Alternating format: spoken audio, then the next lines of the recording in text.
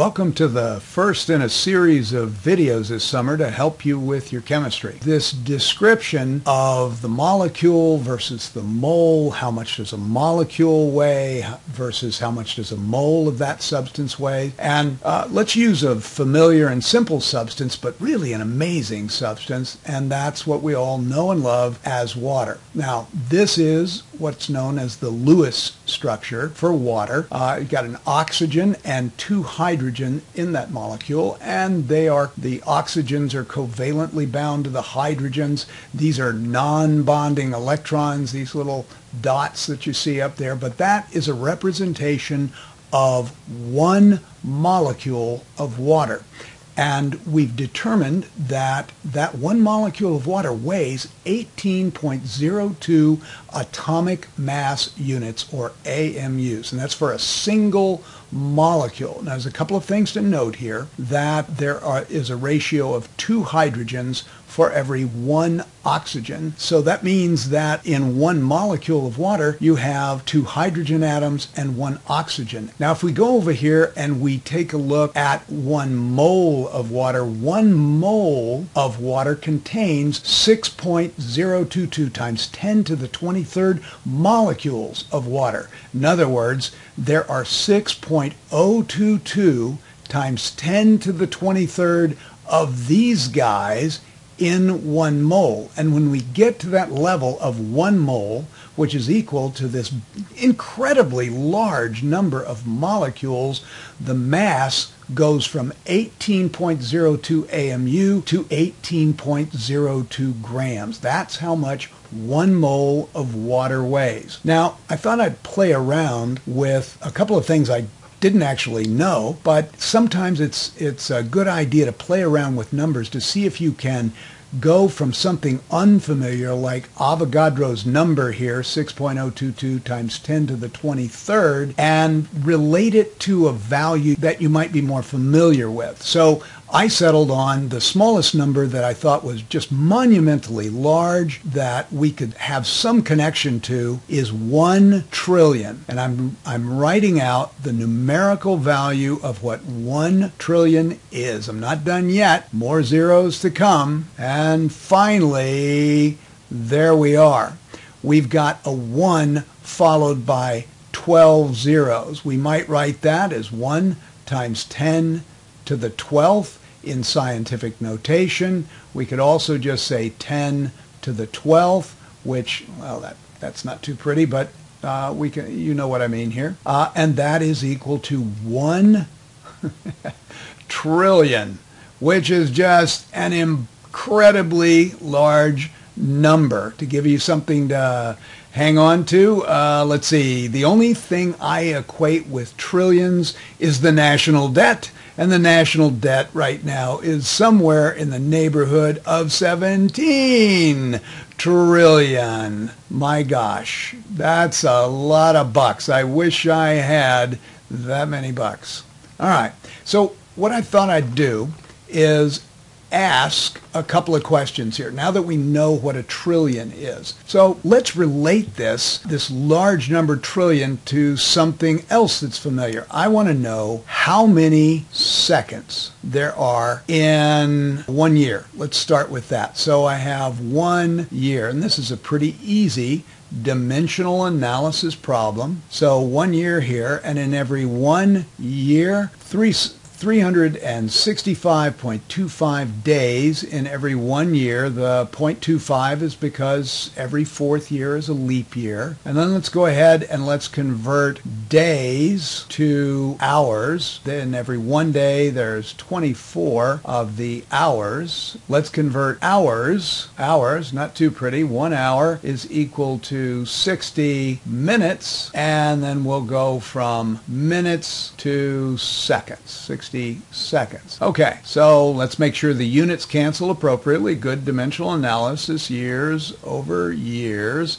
Days over days cancels, hours over hours cancels, minutes over minutes cancels. So we did our dimensional analysis correctly. 3.156 times 10 to the seventh seconds in one year. So that's how many seconds there are in one year, which is uh, a lot of seconds, but nowhere near a trillion. So there's nowhere near a trillion seconds in one year. And that might be a little bit surprising. Let's go ahead and let's see how many years there are that contain one second. So this time, what we're doing is we're asking how many years there are in, I'm just going to write it as 10 to the 12 seconds. That's a trillion seconds. We already know now that there are 3.156 times 10 to the seventh seconds in one year. That's going to get us there. That's all we needed to do. In scientific notation, it's 3.169 times 10 to the fourth years. Want it in a language you can understand? That's 31,690 years. One trillion seconds in 31 31,690 years.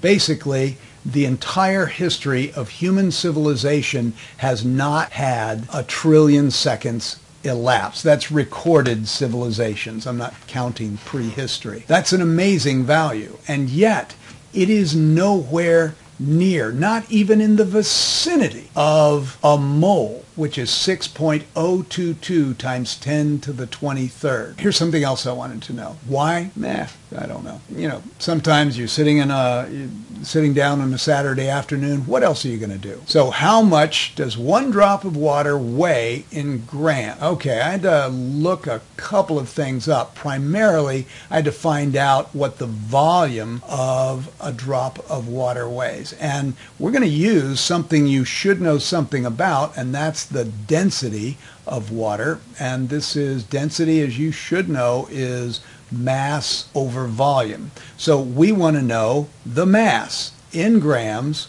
of one drop of water. And what I discovered, and I had to go to the internet for this, is that one drop of water actually has a volume of 0.01437, that's a 137, sorry, 137 cubic centimeters. I could have used milliliters, right? Let's go ahead and convert it to milliliters, which uh, you might be a little bit more comfortable with. And that's easy because one cubic centimeter is equal to one milliliter. Certainly something you should be aware of. Now, this is a volume. What we want to do is we want to now multiply the volume in milliliters. If I want mass, then mass is equal to the volume times the density, just rearranging this equation. So the density of water, and I'm going to take a cheap shot. The fact of the matter is that the density of water will vary with the temperature. If the temperature is a little bit warmer, the water will be less dense. If it is a little colder, then the water will be more dense. Uh, volumes tend to expand when they're heated up. And so I'm just going to use the average that we use quite a bit of one gram per milliliter for our density of water. And that's going to give us, since this is the only value that isn't 1 in our calculation, that's going to give us 0.014137 grams per one drop of water. Now, there's a whole lot of issues. That's a rough average, but it's not going to be too far off. Volumes of water might vary a little bit. The density of water might vary with, will vary with the temperature temperature. So it's a rough estimate, but it still gives you a pretty good range. Now, here's what I want to know. How many molecules of water there are in one drop of water? So here we go. This is where we get to use Avogadro's number. So we want to know how many molecules of H2O, amazing stuff, H2O. Once you learn all of its properties, you'll never be the same. I promise you. It's a life-changing experience. So what do we got? Well, we've got one drop of water, which we now know weighs 0.014137 grams in one drop of water. And what I'm going to do is I'm going to convert grams grams to moles. Now this is the first time you've done this, and here's how you convert grams to mole. You divide by the molar mass of the, whatever the substance is. And the molar mass, the mass of one mole of water, you know, is 18.02 grams. So this is one mole of water. It weighs 18.02 grams. If you remember when you're doing dimensional analysis, this is over one implied. We don't necessarily have to do that with our dimensional analysis. This is in the numerator so that the grams cancel. We now have one mole. We're going from, this is, this is grams. This is the macro world. Moles is also the macro world, but we're going to the micro world of molecules. And when you go from macro to micro, you always wind up multiplying by Avogadro's number. Macro to micro, multiply by Avogadro's number. So here we go. Every one mole of water, of H2O, contains 6.022 times 10 to the 23rd molecules of water. Okay, so let's put it in the calculator. Let's see what we come out with. So I've got 0.014137 divided by 18.02 times 6.022 second e to the 23rd, and that gives me 4.7244 times 10 to the 20 molecules. Now compare that to how many seconds there are in a year. Uh, just to get some perspective, how many seconds were there in a year? In one year, there were 3.156 times 10 to the seventh seconds in one year. That's a whole year, folks. And yet, there are 4.7244 times 10 to the 20 molecules in one drop of water. It's a pretty astounding thing to realize. Now, one last question. How many hydrogen atoms are contained in one drop of water?